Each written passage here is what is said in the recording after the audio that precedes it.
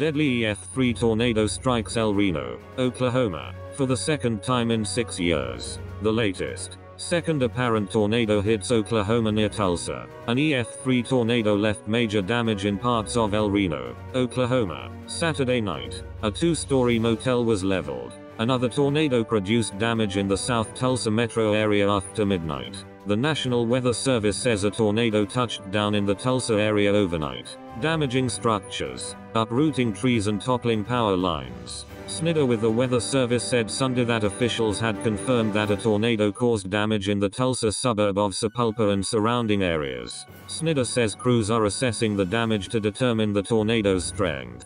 He says the area also experienced damage from straight line winds that officials say exceeded 80 miles per hour, 129 kilometers per hour. The tornado was spawned by a powerful storm system that rolled through the state and occurred not long after another tornado killed two people and injured 29 others in El Reno, about 25 miles 40 kilometers west of Oklahoma City. An apparent tornado has downed trees and power lines and heavily damaged some businesses in a suburb of Tulsa, Oklahoma.